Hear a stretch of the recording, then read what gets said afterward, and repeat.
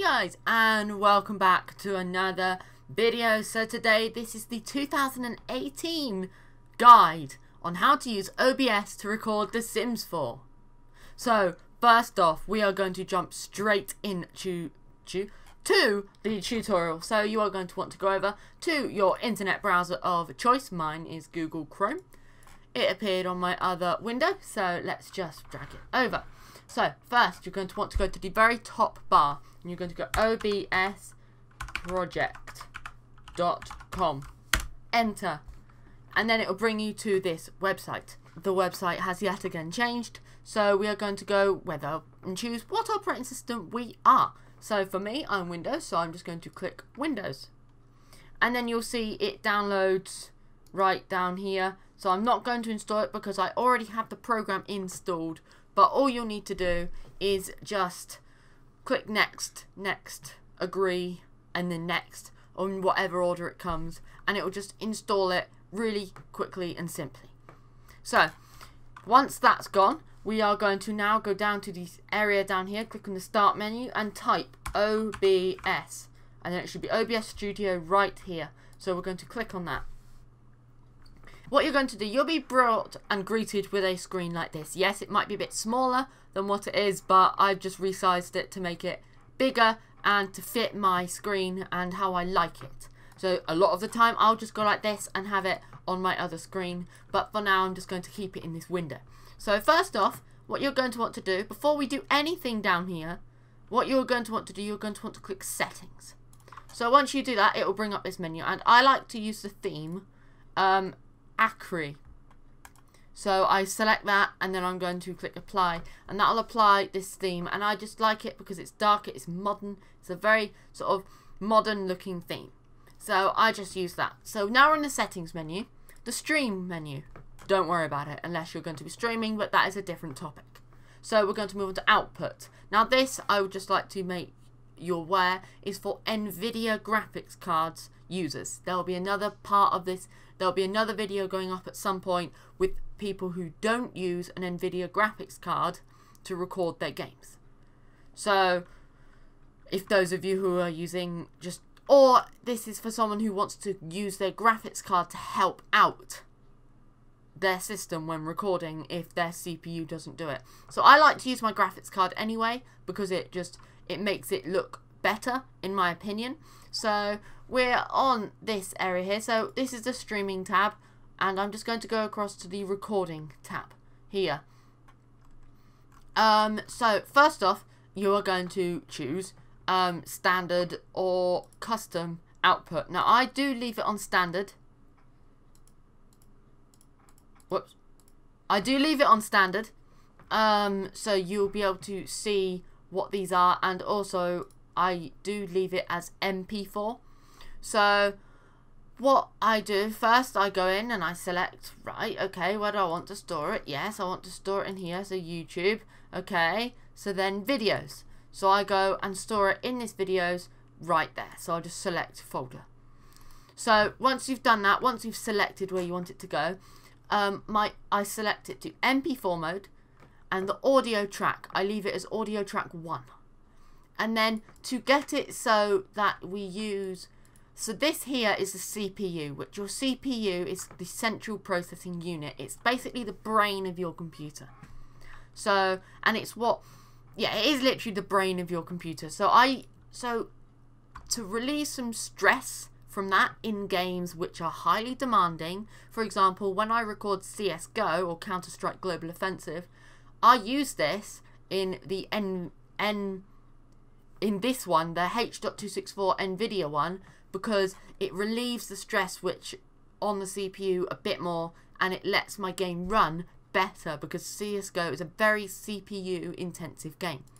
Now, quickly, before we do anything, I just want to show you um, what, how to find what your CPU is. So, your CPU, it will be, if you go down and you can search in control panel, or just search in control and control panel will be here. So, if you click that, and then over on it will should pop up in a menu like this. So what you're going to want to do, you want to go to System and Security, and then under System here, View Amount of RAM and Processor Speed. So at the moment, I only have an 8 gig of RAM, but that was because when I built my PC, the RAM prices were really high, and I have an i5 6400 CPU. So this, that's what I know, that's my system.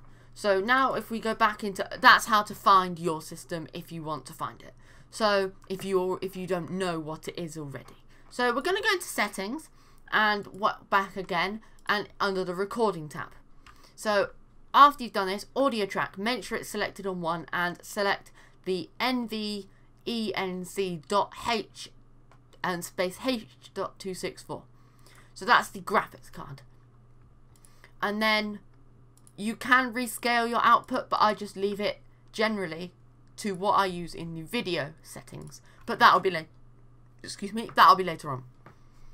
So next, the rate control. You see, last time I set it to CBR, con a constant bit rate, but now I use a, Q a CQP. I use that and I set it the CQP to 27. So that this is what's working fine for me at the moment in most games. So the CBR, it was difficult and it just didn't quite work, but the Q CQP works quite well for me. So the key, um, I'm going to leave the this at zero, or if it's anything else, just make it to zero. Um, this preset Blu-ray, set it to Blu-ray. Um, the profile, I leave it as baseline, and then level, it's at auto. And then I use two pass encoding, and I select GPU to zero, and B frames, B dash frames to two. So once you've done that, click apply and you can move down to your audio tab. Now the audio tab, this is where you select the audio and where you want the system sound to be and if you want to record your microphone through this, which I'm not at the moment obviously, um, but I'm using a program, a free program called Audacity as you can just see it here, which is recording my mic as I speak right there and you can see it just here. So if I just drag that across to my other window very quickly. Um, so I use the sample rate at 44.1 kilohertz. I leave it as that. I put the channels to stereo. And then the desktop audio device, I leave that as default. Desktop audio device 2, that's disabled, so I, I don't need that. And then the mic slash auxiliary audio device, that's default. Um, mic and then the mic slash auxiliary audio device 2 and 3 are both disabled. And then the audio meter decay rate is at fast. So that is the settings. If you just want to take some time to just copy that down, that's fine. Put, put, feel free to pause the video at any point and go back and just rewatch it and rewatch it if you don't understand. And then we will progress on right now. Okay, so into this area here, the base canvas resolution, that is the standard resolution what you are going to record in. So say you want to record in 720p, you'll record, your base canvas will be 720p. If you're, I'm recording 1080p, so my base canvas is 1080p. Now the output scaled resolution, that's say if you if your monitor is 1080p and your game's at 1080p, but you want your videos to not be as hard hitting and as hard taxing on your computer, so you rescale it down to 720p, for example, and that will then make it it will make it a smaller file size and it will make it a less taxing video on your system. So that's what I use there. I just keep it as 1080p because I want it pure 1080p for my videos. Now the downscale filter, that I leave it as Lanco, Lanxo, or sharpen 32 samples. I leave it as that. And then it, I select common FPS values and I set it to 60. So I set it 60 FPS because I want the smoothest gameplay and the smoothest recording I can possibly get. And so once you've done that, click apply. So once you've done that, uh, you're going to click OK. And we are done. And you should be brought to this menu and you should then see, once your mic and all that's been set up, you should see how you should see that here when you talk your mic is moving up and down if you have set it.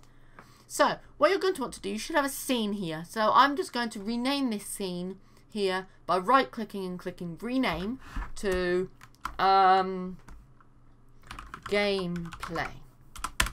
So once I've done that, I'm going to move into this sources menu here. So you can either click down here or right click. So I prefer to right click. So I right click in this menu and I click add. Now that goes down to here where I can go down and you can choose a display capture which will catch which will capture your entire monitor and whatever is on it. So you can choose game capture which is what we're going to do today. So you're going to click game capture and then I'm going to name it to The Sims 4. Okay, and then I'm going to click OK. And then capture, you will want to go down to capture specific window and then click this window, where it says window, you want to go down to click The Sims 4. Okay, so now while The Sims 4 is just loading up in the background, I'm going to right click and go into properties of this, just into, so actually let me just delete that and go through the process again, because that seems very rushed. So I'm going to right click, I'm going to click add. I'm going to click game capture for capturing The Sims 4, and then I'm going to go The Sims 4. So once I've done that, I'm going to click on that where it says capture any full screen application. I'm going to go down to capture specific window. And then under the window tab, you should see The Sims 4 appear at the top here. So once I've done that, I'm going to click OK. And then, yes, I know it's just my mods are disabled, but that's just because I've had an update. And I do have some mods. So, now that you can see, now that should have loaded up in that game there. But somehow, say it's like this. Oh no, what do I do? What, what happens? How do I resize it? You can either click on here and press Control and F to fit. Or, if it's like this, Control F. Or if it's like this, say, you could right click on here, go to Scale, go to Transform, and then you're going to go down to fit to screen. And then it should fit into your screen just like so. And you should then see your game just like this. And you should be able to load it up and do everything that you want to do with it. So all you need, all that's left now is click record, record your videos, and then the entire process of editing then kicks in. Okay guys, so I'll see you again soon. It's been me, BB6 Gaming. I'll see you again soon and have an awesome day. See you guys. Bye.